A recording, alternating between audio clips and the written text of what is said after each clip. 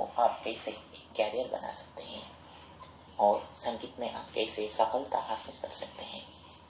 तो सबसे पहले मैं आपको ये बोलूँगा कि आप मेरे चैनल को सब्सक्राइब कीजिए और क्लिक बेल आइकन पर क्लिक कीजिए ताकि आपको मेरे वीडियो सबसे पहले मिलेगा और आप इसमें फ्री में ताबला लर्न भी कर सकते हैं। तो चलिए आज के वीडियो को शुरू करते हैं।